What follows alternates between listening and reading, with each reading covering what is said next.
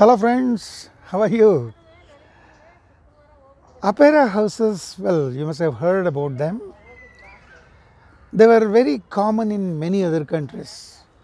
In India too, the British built such structures exclusively for dance and music performances in cities like Bombay and Calcutta. In Bengaluru too, such structure existed at the junction of Brigade Road and Residency Road.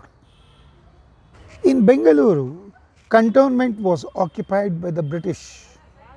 To cater to their cultural needs, this opera house was built somewhere in the early years of 1900. Inside this house, a huge platform, very long dancing space with soft and cushion type wooden floor, dazzling lights and many other such special features used to give the performers a unique experience. Externally also, it was a long building with a tiled roof. The side walls of the first floor and in other places they were very well decorated. During 1998, I had written about the heritage aspect of this building comparing it to classic Titanic ship in my column in Asian Age. Opera hosted many live performances of Raj Kapoor, Lata Mangeshkar and such great personalities.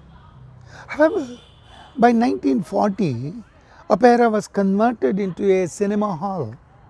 It screened many English films. However, later it became a prominent center for Hindi cinemas. Recently, Samsung has set up a beautiful showroom in this theatre. Thanks to them, because they have retained the original shape of the building and have made equally nice landscaping outside. Very close to Opera House on MG Road, there existed Crystal Picture Palace, which was one of the earliest cinema talkies to be started. Mr. Kiran Natarajan, one of the film historians of the city, says that it was owned by a European woman, but she later converted the theatre's name into Globe after the First World War. In 1940s, it was bought by the family of Akhtar Begum. In the same name, they showed many films. Here are the samples of publicity materials for the film Caesar and Cleopatra.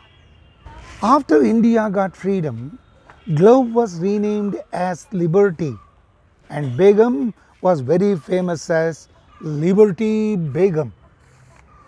The long queue in this photo shows how people were gathering here to see their favorite movies.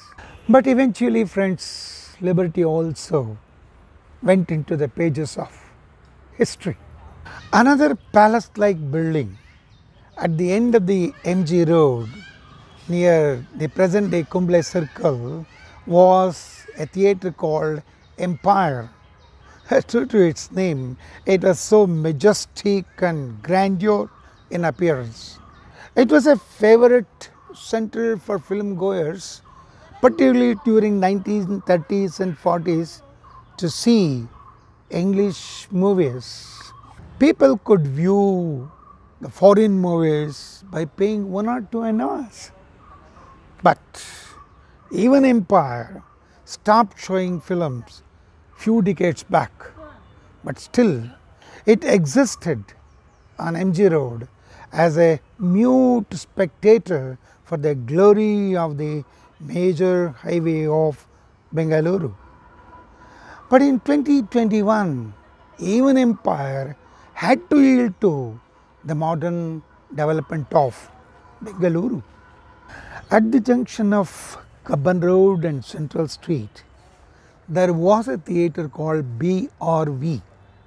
BRV means British Rifle Volunteers.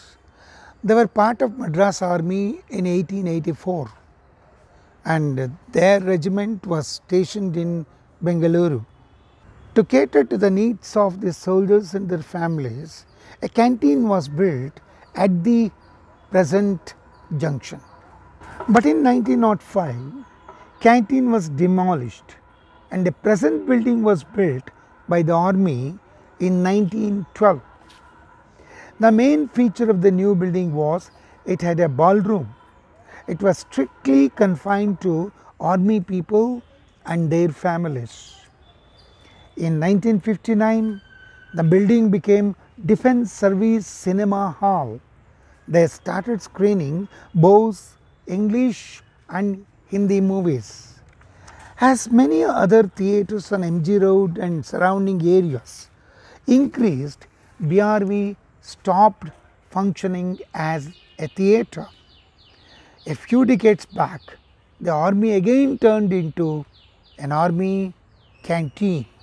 In Shivajinagar, a little away from Shivaji circle, there existed a traditional architectural beauty called Elgin.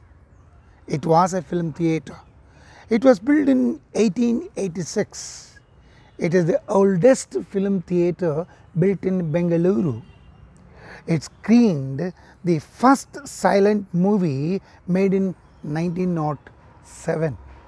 Again, after entertaining the film goers for almost 100 years, Elgin also stopped as functioning as a film theatre.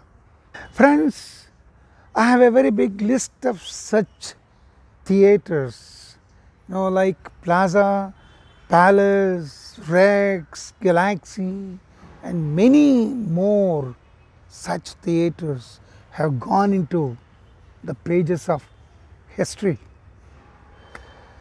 Hell we'll meet in the next episode.